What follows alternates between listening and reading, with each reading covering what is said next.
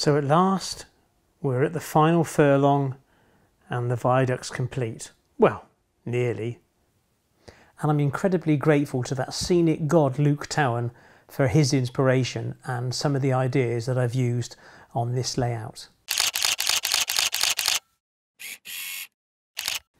So the landform is now complete and I've, as usual I've used Celotex. Um, it's not uh, a very nice uh, commodity to work with. It does have an irritant in it and you do need to wear um, protective gloves. And these gloves are from Diall, which is a, a B&Q um, product, and they're powder free.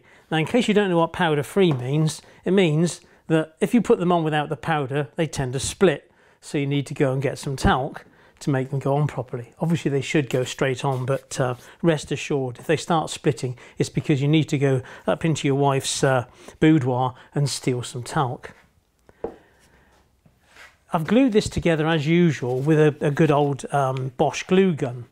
The only problem I did have was um, when I was using the glue gun and obviously you coat the ends and stuff and you pop it into place, I kind of give it a little bit of a, um, a juggle and this mark here really isn't the effect of me having a cold, it's actually the glue and I've absolutely ruined this t-shirt. But then that's why we wear old clothes for when we do our modelling, hopefully. Anyway, so I'm going to crack on with this now. Um, the, the, first thing I'm going to do is use good old Sculptamold um, to give the land um, some kind of uh, texture um, on both sides and then it will be a case of sorting out the river, painting the landform once the Sculptamold's dry, um, and then I'll crack on from there. I've also done the points um, which I showed you in the last video, which I cocked up um, because I took a trowel and broke off the frog wires. So the new points are in, I've tested those um, because the tortoise point motors here aren't very accessible. So I wanted to get those thoroughly tested before I went any further and it all looks good to go. So out with the Sculptamold. I'd appreciate it if you subscribe to my channel. I notice that actually only about 25% of my viewers do. And also, if you click the little bell icon, then you'll get a notification when the next video is released.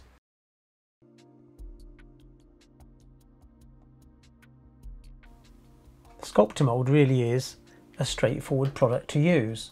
It's not unlike paper mache and I kind of mix it with uh, three fistfuls of Sculptamold to uh, sort of about half a pint of water and you should whip it up um, to the consistency of cottage cheese.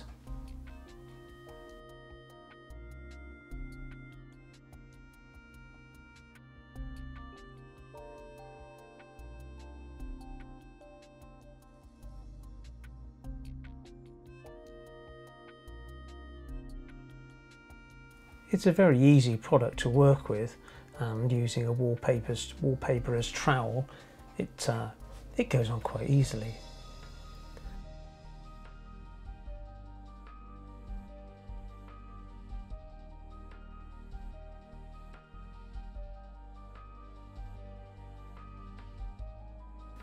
I find one of the best tools is just to use your hand, just wet it down and rub the Sculptamold kind of into the crevices. And after about 20 minutes, when the Sculptamold starts to go off, again, if you wet your hand and you rub the surface, then you can take out all the little bumps. And of course, the more you rub it, the smoother it becomes. So if you want to do a roadway or something like that, then you just keep going until you get the surface you need.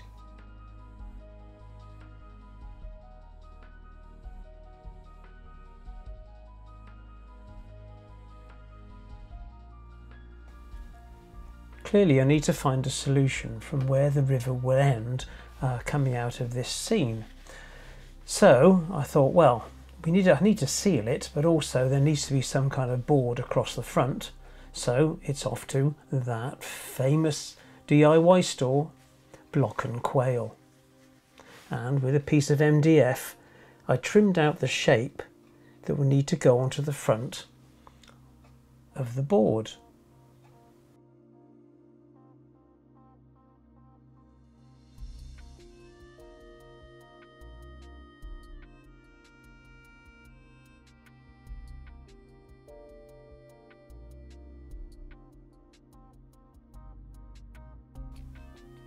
And as well as being much more aesthetically pleasing, of course it will protect all the soft uh, foam from any damage. Of course there's bound to be a gap when you fit it, so what should I use for that? Well, this time I've opted to use caulk. Um, and caulk is a very useful product because it's a kind of a DIY product and uh, it will glue almost anything to anything. But before I fit the board in place, I thought I'd better make a decent seal uh, across where the river uh, ends, the, ends on the scene.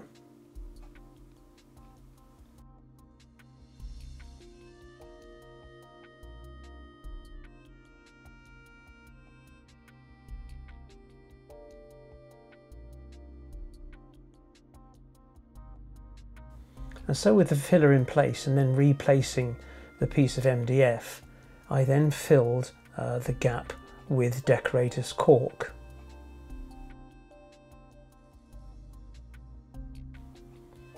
It's easy to smooth off, just wet your finger and then rub it along the line.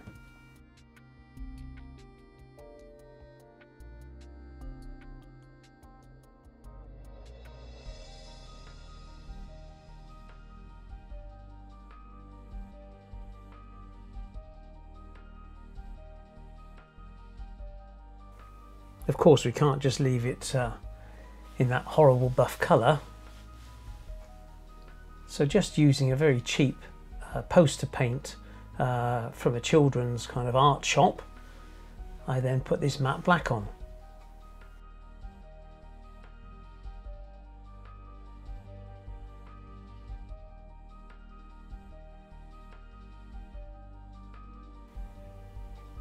Course, when it dries, it doesn't look quite so deep. But it's a hell of a difference and finishes it quite well.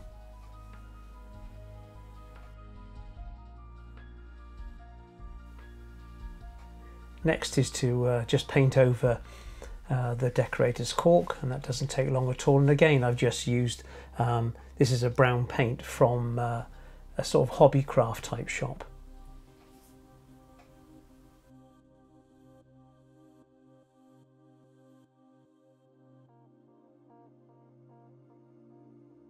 and I think it's now looking much better.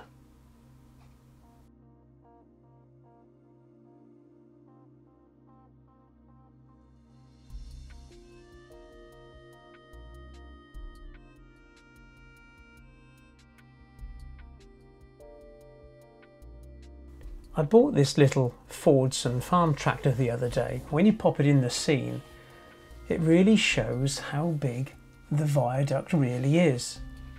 I mean, this tiny little tractor is actually dwarfed by the scene, and it just shows, you know, how imposing it really is. Well, that really is most of the uh, forming of the land all done. So what's left to do? Well, obviously I've got to do the epoxy resin on the river, but I'm actually waiting for a sealant because um, I don't want to get any leaks. I want to make sure um, that the riverbed is sealed properly before I do that and I haven't received the sealant yet so that's probably going to be the last thing I do. So in the meantime um, I can ballast in the little farm track now um, and then a case of greening up all this hillside. I could use the woodland scenic scatters, the, the fine turf, burnt grass and that kind of thing on here or I could go for static grass. But to put static grass in such a major expanse, I don't think it would work because it would you'd lose the de definition of perspective because obviously this is sinking away into the distance. So what I'm going to do now is put scatter over um, all the fields and then um, start on the hedges and trees and try to work out where the shrubs will go and obviously the infill um, within the viaduct with bushes and all the stuff that would grow in there, brambles and that kind of thing. And also other stuff along the roads. I've also got fences to put in um, and barriers to put in up here. Um, so I'm kind of halfway through, so on we go. To hold the scenic materials in place, I always use undiluted PVA. The fine grey ballast was uh, a product that was left over from a previous project so it was ideal to use this and once it's weathered in I'm sure it will look absolutely fine.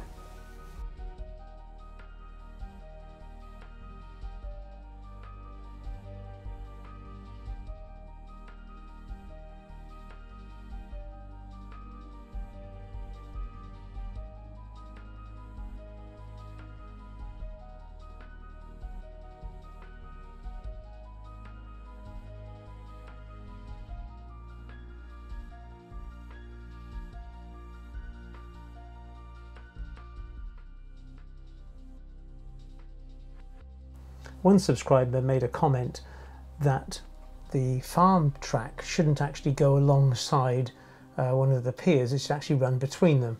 And he was quite right, and I moved it accordingly. So it now runs in the middle of the piers.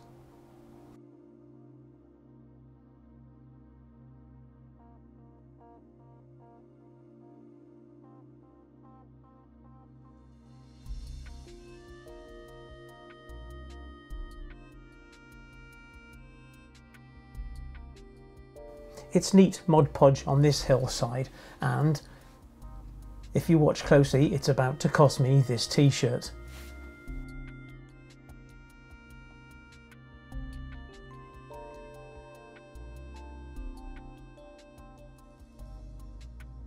There it is.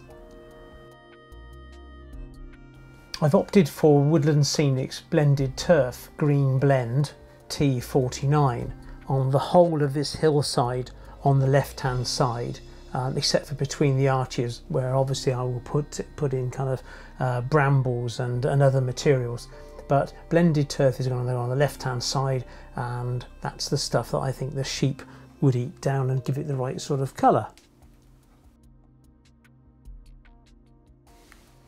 It might seem somewhat wasteful but all of the excess will be hoovered off and recovered later.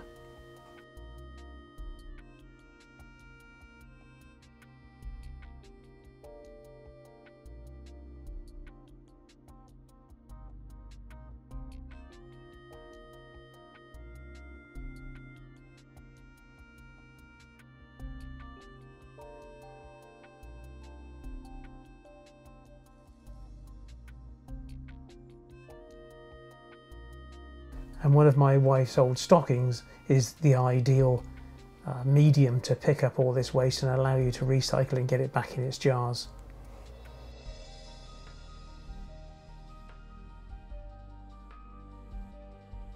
I was advised uh, again by one of the subscribers in the comments section that I should really seal the riverbed using flex paste. So I ordered this pot, uh, flex paste C1205 um, to be on the safe side, but I'm not too sure that I would have actually have needed it, but perhaps better safe than sorry. And I used a one inch brush to lay it down, and um, that probably wasn't the ideal way of doing it because um, the way I've done it, you, you can't help but leave dust, uh, brush streaks embedded in it. And uh, I think it would probably been better do to um, just kind of stipple it towards the end. I had a couple of friends come over uh, a few days ago. Um, between us, we picked the board up and put it into its final position just so I could size up um, how we would do the transition from the viaduct board back into the hillside. So I'd made up a couple of uh, rocks with the old rock moulds a few days before um, and I was just trying to see how I would manage this transition. So deciding upon which rock I would use is then a case of just trying to mark it out on the uh, on the new board whereabouts it would go um, and also to measure what sort of drop we'll have to do from one board to the other. I must confess that when you pop this little tractor in it just looks so tiny.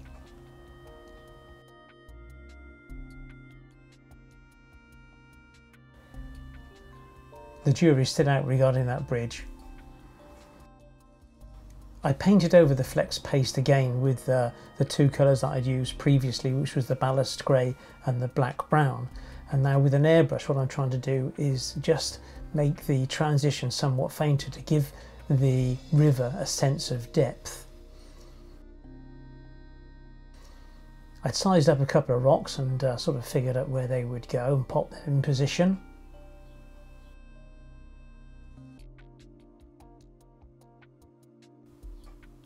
One in front of the viaduct and one behind.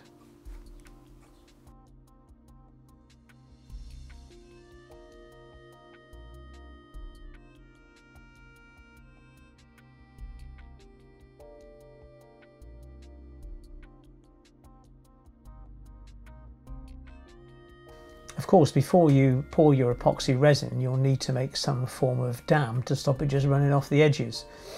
And I've used uh, just an ordinary white uh, paper tape. I had thought about using a rubber tape, but I thought, well, no, I can't do that. It might well react with the epoxy resin. So I used a paper tape and then reinforced it with um, black masking tape to give it some rigidity.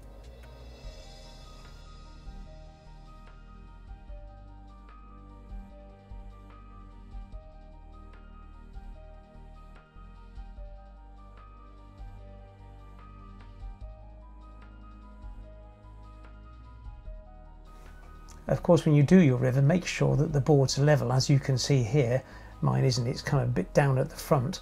Um, so I had to jack that up before I started pouring in the epoxy resin and also just to make sure that it is um, spotlessly clean, there's no dust in there whatsoever.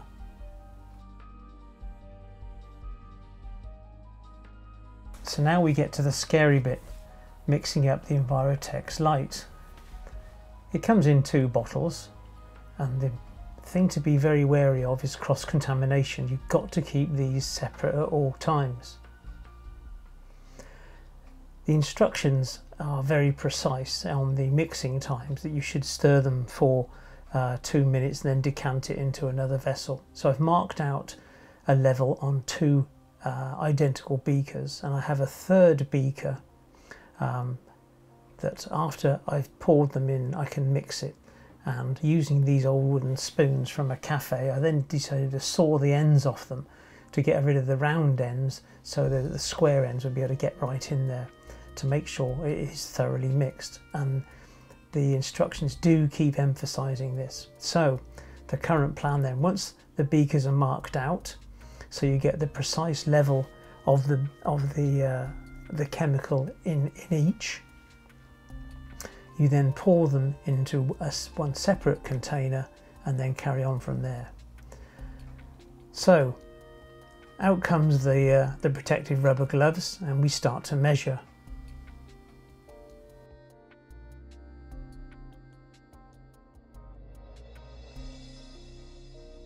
I must confess I found this whole process quite unnerving.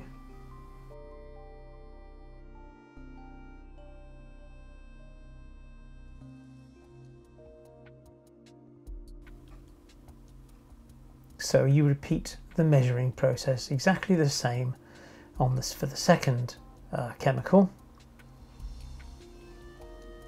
and then make sure you keep them separated and the bottle tops are back on. So now you mix the two chemicals together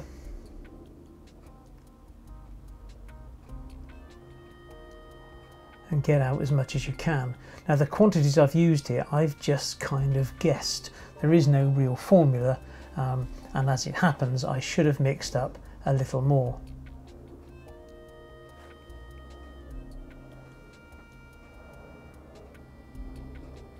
And every time I finish with something like those beakers they go straight in the bin. So we now have to mix this together for two minutes and I wanted um, to give it a little bit of colour um, and I thought well as there's a, a large blue sky uh, backdrop, I would use a drop of blue just to give it a little hint.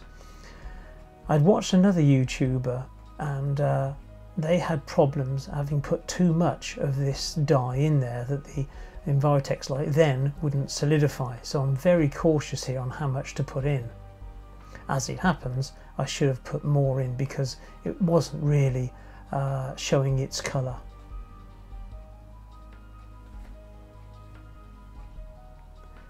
You do need to scrape the stirrer several times and then make sure uh, that you uh, make sure you scrape all the sides of the uh, the plastic beakers to make sure you are getting a thorough mix and then you mix you then pour that mix into another container and then carry on stirring for a further minute. I must apologise now for kind of putting my hands in the way of the camera as I'm pouring um, the epoxy resin in. Uh, but it's a case of really of just trying to get it into a, the nooks and crannies and it should find its own level.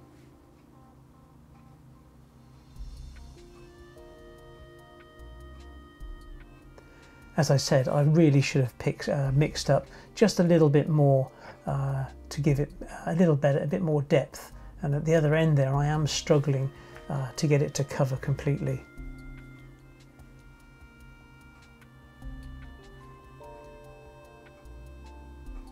And with the last little drop, I wanted to make sure that I had a, a, a decent amount at the front, because obviously that's the, that's the area that's more visible.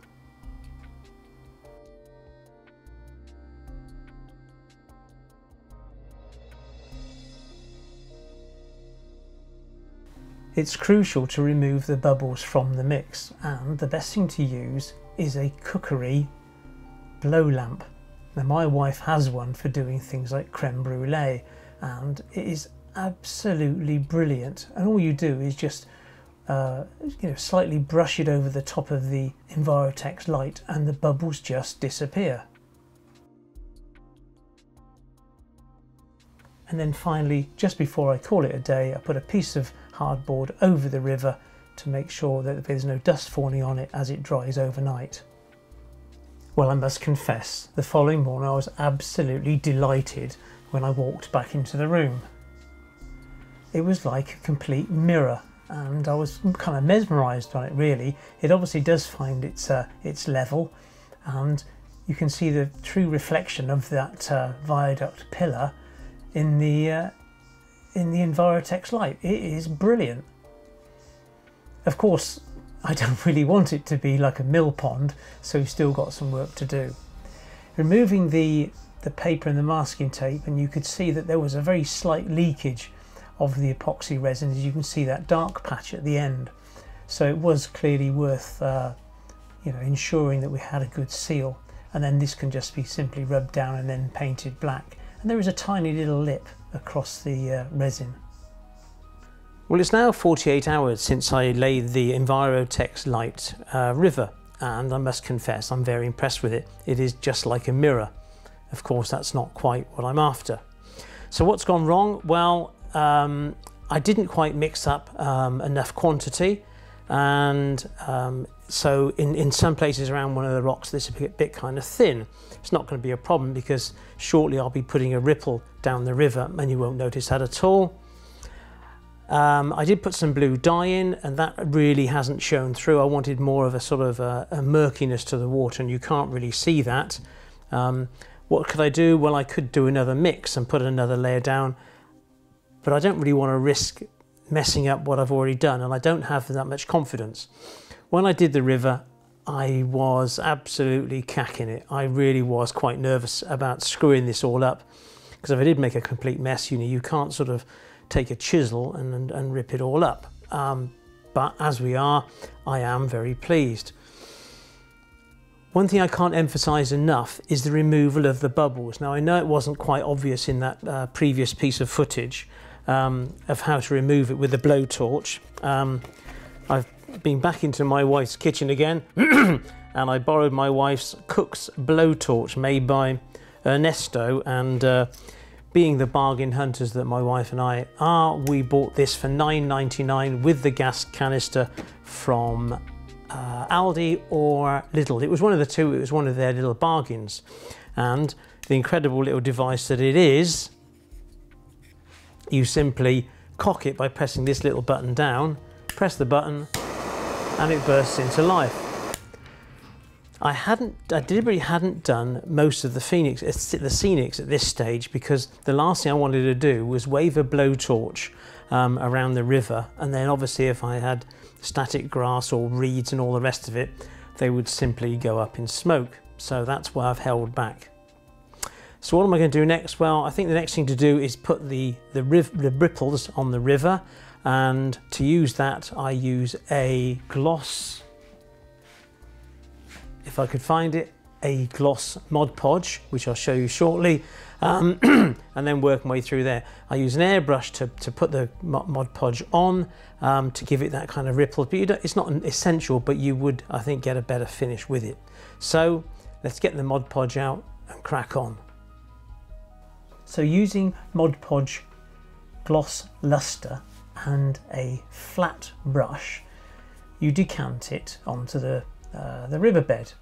And I was doing sort of three to four inches uh, at, a, at, a, time and uh, just trying not to put too much down or too little. And then with an airbrush then set to the wrong pressure because this is set to about 12 psi and I later found out really that you need 25 psi I then worked my say my way um, up the river and it all kind of worked out quite quite easy really. There's nothing nothing too serious.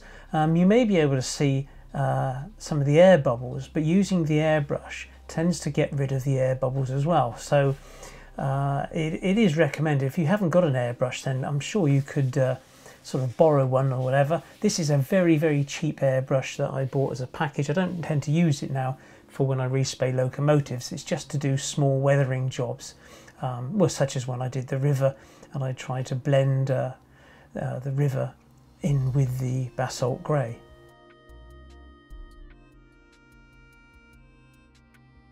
So cover it up and away we go.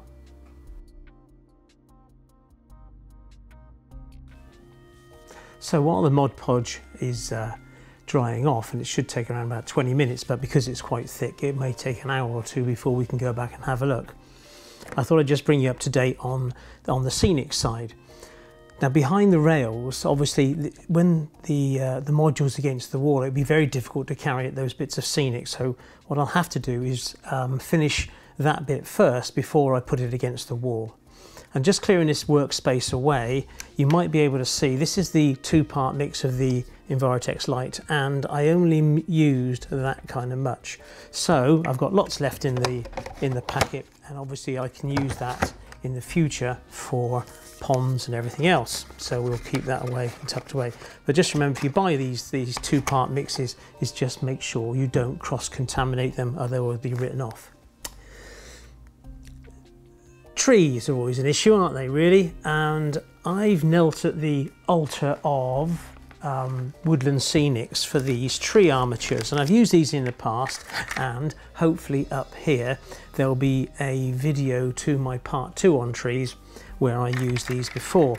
And this pack is either the sorry the five to seven inch trees. And you know it's not rocket science. There's an armature.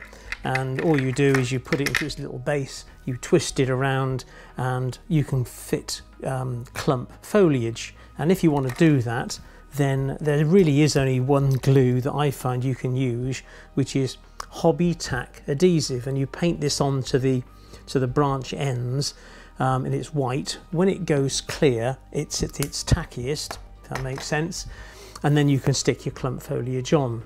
For me, that's not quite good enough. That sounds awful. It's not quite what I'm after. And here's a tree I made previously, and it is again one of the um, Woodland Scenics armatures. But what I've chosen to do with it is I've glued onto it sea foam, which I've done to this one last night. And it's just a case of, um, with that uh, Hob-e-Tac, I coated all the ends. Um, once it had gone off, I poked the uh, the sea foam on and hopefully it will stay on. What I'm going to do is I'm going to put a drop of super glue on the joins just to give it that extra bind.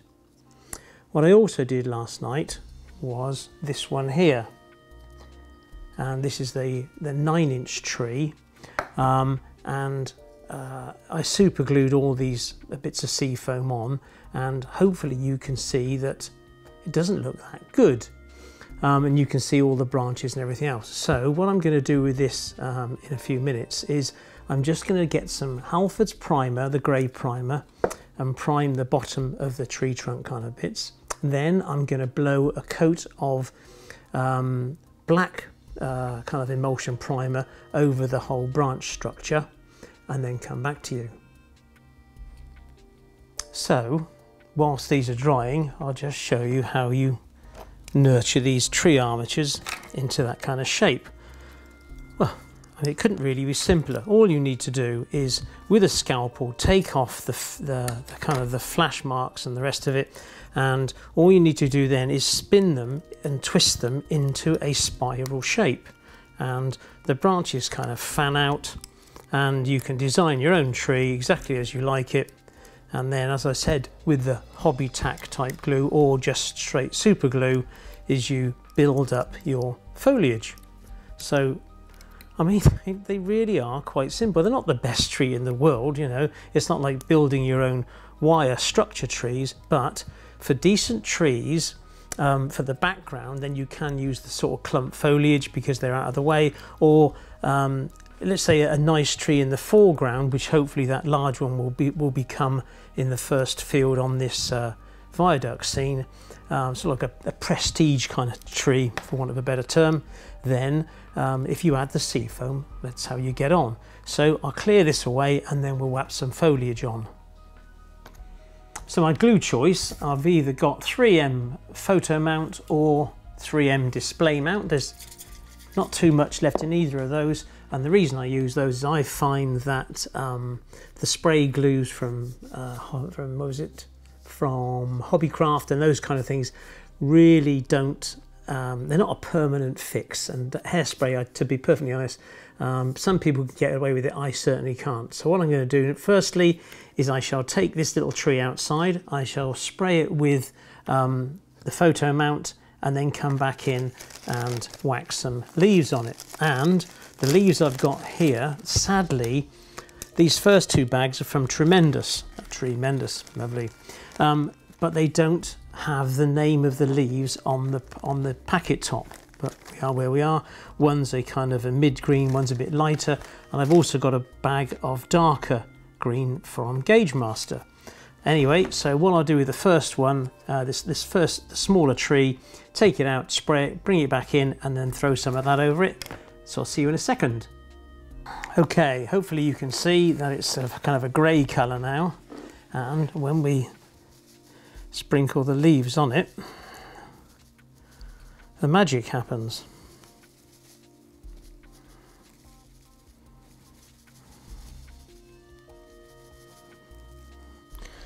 One of the tricks to do is try to avoid spraying the glue on the trunk and if you do, which I invariably have, is to uh, is to scrape those leaves off.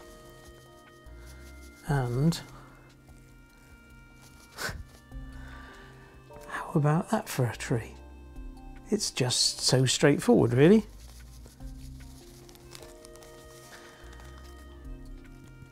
And as you can see, not a lot falls off. I'll just take a check it over, or we could do a little bit there. And uh, it obviously looks quite dense as well. But as trees go, I mean, that's cracking little job. Well, I think it is. Now the difficult one, so I shall clear this away, rebag some of that and then crack on with the larger one. Okay, same routine, just with the larger tree and again it was the brown um, 3M display mount. So here we go, let's see how we get on.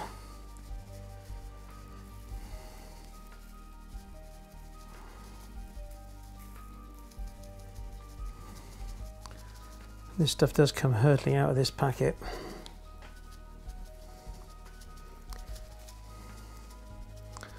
It's an adventure for us both. This I've never used this uh, this stuff from I think it's Gaugemaster before.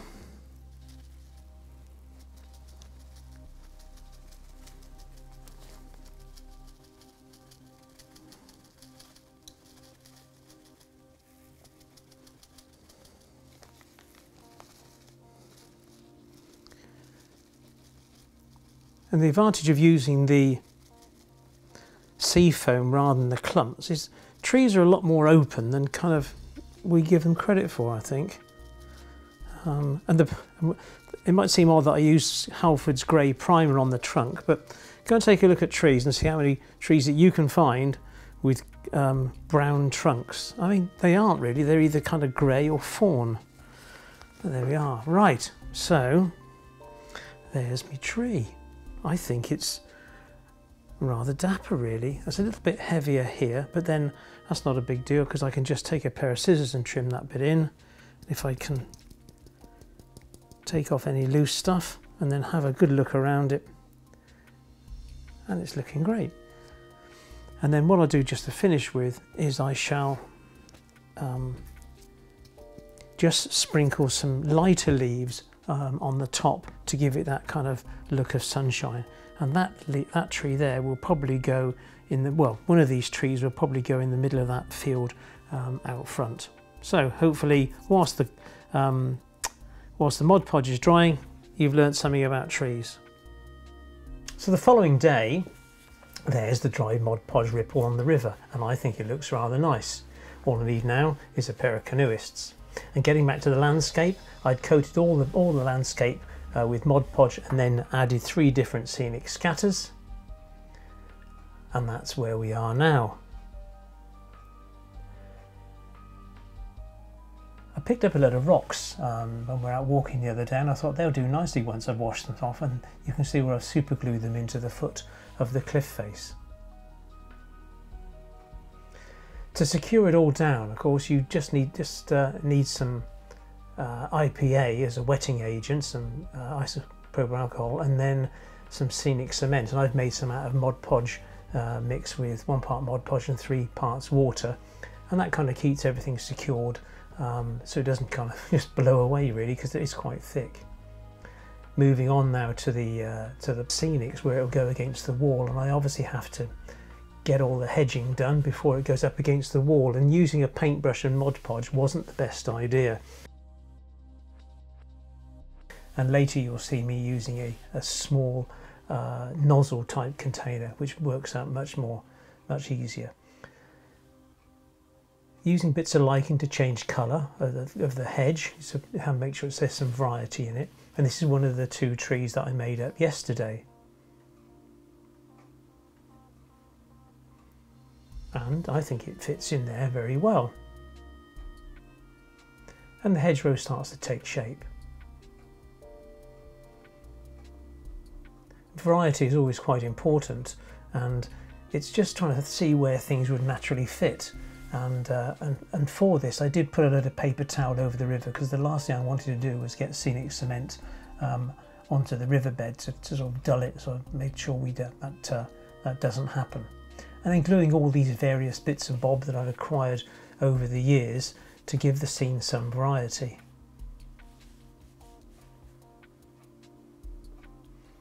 I think the cliff face is starting to look quite nice now. But of course you can always add to it as you go on. There's no need to get it all done in the first burst. And then Two Gun Tex comes along again with his IPA and his scenic cement and gives everything another good uh, soaking. And then my masterpiece of a tree, well hopefully, um, I popped it in the landscape to sort of make it sort of a, a, a prime sort of aspect for it. And uh, I think it sits in there quite well. So as we take a final look across this diorama, I'd hope you agree that it's looking reasonably good. I must confess I'm pleased with it, although we clearly aren't at the finished stage. In fact, there's an absolute ton of work left to do. I need to um, spray the track, uh, ballast the track, um, I need to build up this landform here so it fits in um, with the other hillside. Um, I've got to, let me think about this in right order, um, put the fencing across um, the top here. I've got to do that piece of hillside there, the fencing on the back, the fencing um, around the farm track needs to be done. So as you can see, there is, there is hours and hours of work left to be done. But as far as the video is concerned um, with this particular project, I'm going to call it a day here. And so what did it cost me? Well, it's cost me two t-shirts um, and there's the, uh, the mark on the second one. So make sure you wear rubbish gear when you're doing this kind of mucky modelling. Um, the products I've used um, are, I, I, don't, I haven't made many mistakes with these products, um, but you really do need to tread carefully, especially with the Envirotex Light and those type of epoxy, um, epoxy, resin products um, you know, they, they are sort of, you, you can be quite vulnerable mixing them up and getting them wrong. I've kind of landed on my feet. Perhaps um, I was quite fortunate, um, but we kind of, we are where we are. Uh, scale wise, I'm quite excited about when I start to put farm animals in because I'll probably go for HO scale um, uh, cattle on this field where it'll be uh, double O on the front. So you get a, a, feeling of perspective and hopefully you can see that tree being bigger than that one kind of gives you a sense of scale. So hopefully it all works. And it's no longer I think just about the viaduct. The viaduct just happens to be in a hillside and you kind of get the feeling that the hillside was here before the railway which is obviously what you try to portray so there we go um, there's not a lot else to say. Hopefully you've enjoyed it and hopefully you've subscribed. Please leave any comments below if you like it, if you like the bridge. I've been, we've been there before with that one, that small um, farm track. Um, but if you've got any, any, any points for me, please leave them. I try to answer every single comment that's left. Um, except for the ones that contain swear words because I instantly delete them because it's a channel that's suitable for the under 18s. Um, it's been a, it's been a blast doing this, and I thank you, my subscribers, um, for sticking with it because without your kind of inspiration that leads me on, you know, it kind of takes the shine off it. But because you've been there every step of the way, and it and it's been a lot of steps. I think this has taken me the best part of 12 months when I first started gluing this old Peco viaduct together. But there we go. So and ending, as usual, I thank my patrons enormously for their support. If you haven't subscribed, you should be ashamed of yourselves. And there should be video here and here. I'll see you in a few weeks. I've got to work away. I've got down to McKinley next week. Um, and hopefully there should be a link coming up to here for McKinley. And that's about it. Catch you later. Take care. Stay safe. Bye-bye.